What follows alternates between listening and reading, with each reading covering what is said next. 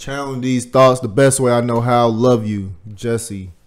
Let's get into it. Like They me, yeah, not solving a crime. Oh, they solved the crime. You know, I know he ain't talking about the Chicago Police Department that spent, I think, a hundred thousand dollars on uh, a false allegation, a false uh, uh, report. You know what I mean? They solved the crime. They used their resources, right, and uh, Chicago taxpaying dollars to solve the crime, and discovered that Jussie Smollett was a fraud. You know. Taking out the elements of race and trans and homophobia. That's straight. He should have said exploiting the elements of race and trans and homophobia. That's collecting money for these activists. Taking lives, but turn around and act like I'm the one that killed the strides. Maybe we stick together. Maybe we read more. of these Instead of saying that it's above me now. Brother, you sure? I can't be mad. Take my ego out. Who said who said it was above anyone? when Jussie Smollett first came out with this whole allegation of someone, you know, Trump supporters, right, talking about this MAGA country and they had a noose around his neck and all this stuff. When that story came out, I mean, it made headlines all over. You know what I mean? He had interviews.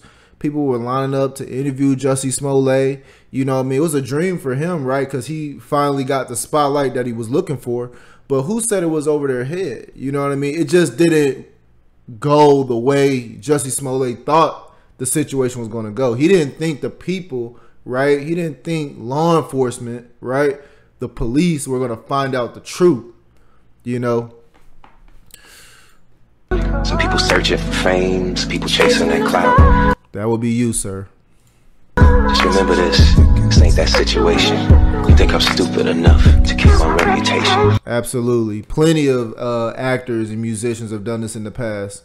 Plenty of uh, uh, of entertainers have killed their reputation. Uh, look at Michael Vick, dogfighting. Never thought that it would come back and destroy. Well, I ain't gonna say it destroyed his career, but never thought that that he would be held accountable for that and have to do jail time, prison time for that. Never thought it would come back on them like that. You know what I mean? You have actors and entertainers who do drugs, die from over overdose. You know, look at Juice WRLD. Died, I think he died on a plane or at an airport. So absolutely, people kill their reputation. Absolutely. Jussie Smollett, his thing was it's not enough to just be rich. You know, he's already got the money. He already has the status. You know, there's a, another hierarchy that these people, right, they try to get into. You know, and that's what it was about. You know what I mean? Yeah, I think uh, Jussie Smollett would wager his reputation if it means that he can gain another level of status. Simply to look like a victim, like it's something fun. I better look at something. Absolutely, it's fun. It's, it's being a victim is fun for uh, people in the inner city, right? Who who want reparations and, and want to claim that you know they're getting killed by police. It's fun to be out looting stores getting things that you wouldn't normally be able to afford on your own. It's fun for these olympic athletes right? During the season like right now you know nothing's really going on. They can make a living off of uh, social justice. You know it's fun for the the, uh, the founders and the co-founders of black lives matter who have this real estate portfolio built off of the money donated to Black Lives Matter, right? From major corporations, from the people, right? People never saw it. Black community never saw it, right? It's fun for Colin Kaepernick being a victim, got his Netflix special. You know what I mean? He, he got uh, Nike deals. You know, he's trying to get back into the slave, uh, the the plantation uh, NFL. So yeah, I would say being a victim is fun. Absolutely someone else. The wrong one. we got the right one. But I want to thank y'all. I know I still got you. It's for the people who kept it real, kept it true. Wait, let me phrase that, cuz the narrative they played, I really overstand the reason why y'all felt betrayed. They had my own people, thoughts going off the wall. That's who is your own people and what made them that way? Who made who made them your people?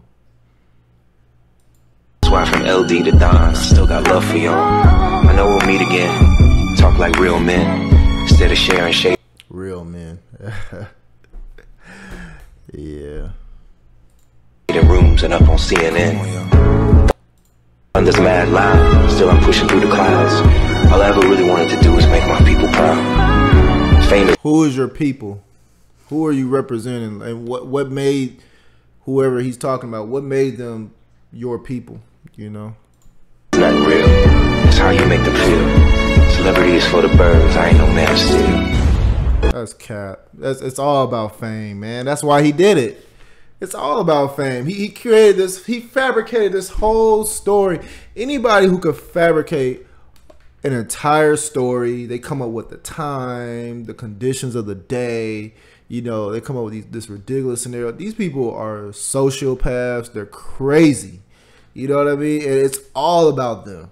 It's narcissistic. Really, really, what he did was narcissistic. It's all about getting as much fame and as much attention as possible. And let's say the Chicago Police Department, let's say they, they were, let's say if they were never able to find out, you know, that uh, Jussie Smollett story was a hoax. You know, he would have rolled this out and he would have probably joined hands with Netflix, joined hands with Colin Kaepernick, and, and, and made even more money.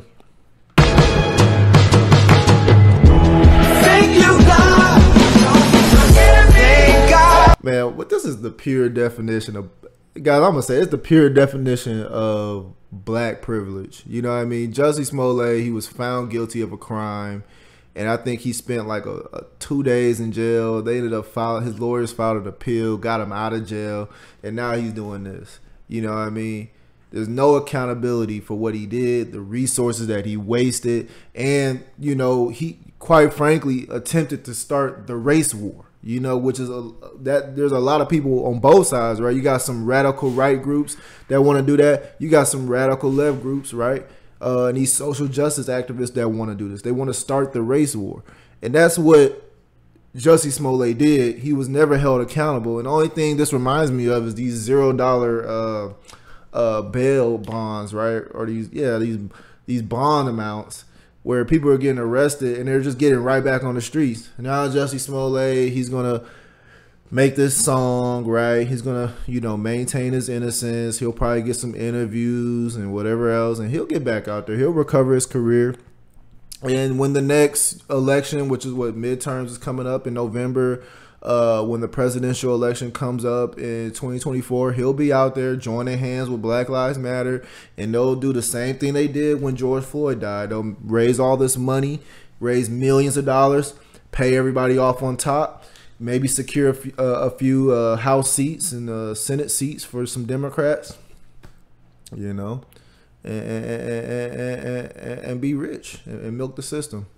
But let me know what you guys think in the comment section box below. You guys know where I stand, you know, with this social justice rhetoric, this fake victimhood mentality, but I could be wrong about this. I don't think I am.